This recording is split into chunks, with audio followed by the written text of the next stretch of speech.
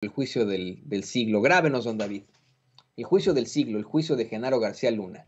Esto luego de que el fin de semana a Felipe Calderón le recapitulo, ¿no? Lo que pasó. Este fin de semana Felipe Calderón fue a un club de regatas o no sé qué ahí en, España y se puso a cantar en aparente estado inconveniente eh, algunas canciones, valga la redundancia, entre las que destaca El martes me fusilan, una canción de Vicente Fernández que por cierto utilizan mucho en la ultraderecha mexicana, pues es una canción de la, de la guerra cristera y la utilizan muchísimo los, los, los, de los del yunque, pero bueno, se aventó esa de el martes me fusilan. Llama la atención porque mañana martes, 17 de enero, comienza el juicio de Genaro García Luna. Por otra parte, Santiago Nieto dice que, eh, pues, Estados Unidos va a, a revelar nombres de cómplices en el gobierno de Genaro García Luna. Imagínese usted en la montaña de evidencias que tienen.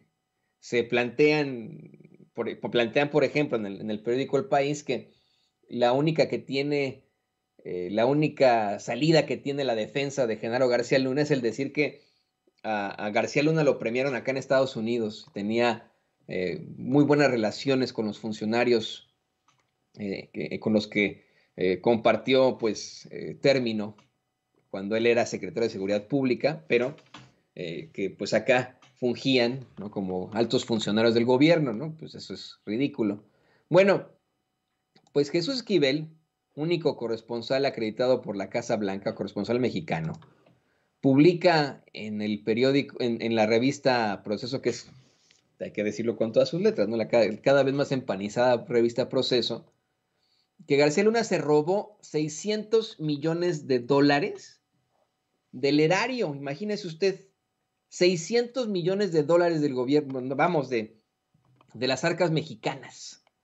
Dice Jesús, Esquivel en, en, la revista Proceso, el Departamento de Justicia de Estados Unidos notificó al juez Brian Cogan que Genaro García Luna, después de 2012, tras retirarse del servicio público en el gobierno federal mexicano, continuó colaborando con el cártel de Sinaloa y llenándose los bolsillos de dinero proveniente del narco.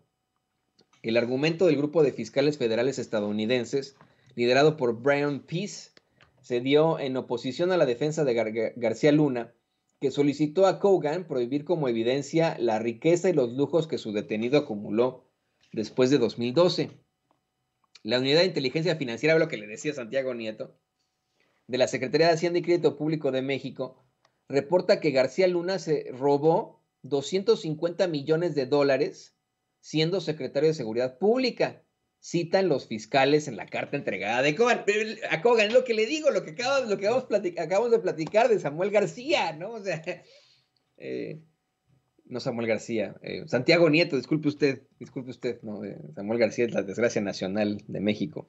De Santiago Nieto, este, eh, muy interesante, ¿no? Santiago Nieto da una entrevista para Milenio en la que dice que él tiene información, él revisó información cuando era titular de la unidad de inteligencia financiera y, y, que pues seguramente el gobierno de Estados Unidos, el Departamento de Justicia, va a dar a conocer nombres de los exfuncionarios que colaboraron en esto con Genaro García Luna.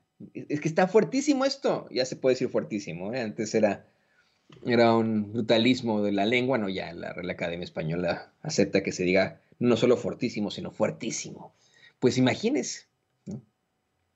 Dice, eh, dice Jesús Esquivel en la revista Proceso, en otro documento sellado que va como anexo a la misiva, los fiscales eh, entregan a la Corte Federal del Distrito Este en Brooklyn, Nueva York, la información detallada respecto a las finanzas del acusado.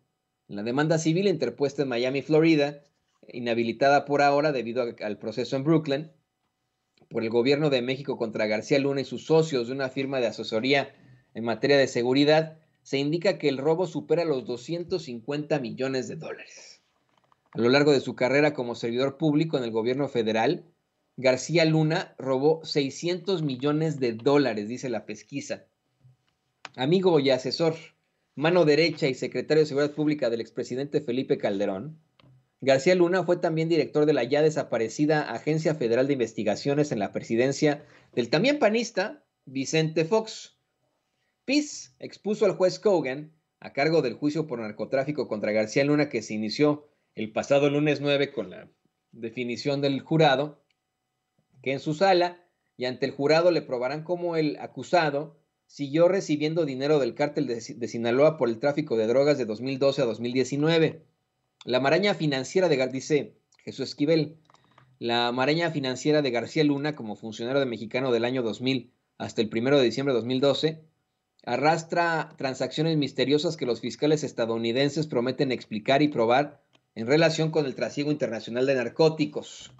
Por ejemplo, la Unidad de Inteligencia Financiera da cuenta que cuando García Luna fue secretario de Seguridad Pública, desde cuentas gubernamentales a su cargo o bajo su supervisión, se hicieron transferencias a cuentas bancarias asentadas en instituciones financieras de Panamá, países caribeños e Israel. Documentos sobre los depósitos y pagos millonarios que sumarían los 600 millones de dólares saqueados al herero mexicano son parte de las evidencias que presuntamente tienen en su poder el gobierno de los Estados Unidos gracias a la colaboración de la Secretaría de Hacienda y Crédito Público. ¿Se acuerda usted que fue muy sonado que estaban solicitando información al gobierno de México, los fiscales del Departamento de Justicia de los Estados Unidos sobre el caso de Genaro García Luna? Pues ahí está. Y mañana a ver cómo le va. A ver cómo le va a este señor. Híjole, se va a poner muy interesante.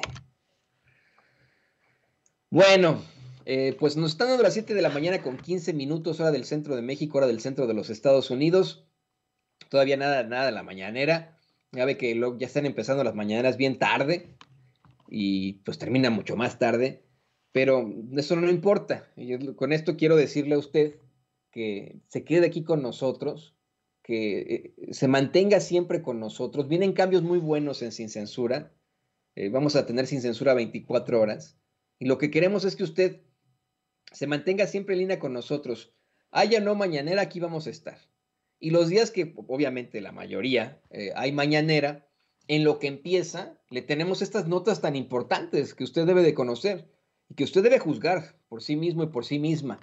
Así que, eh, pues manténgase con nosotros, manténgase en línea porque se pone muy buena la cosa. Eh, se pone muy, muy buena la cosa. Le pido a don David que nos graben.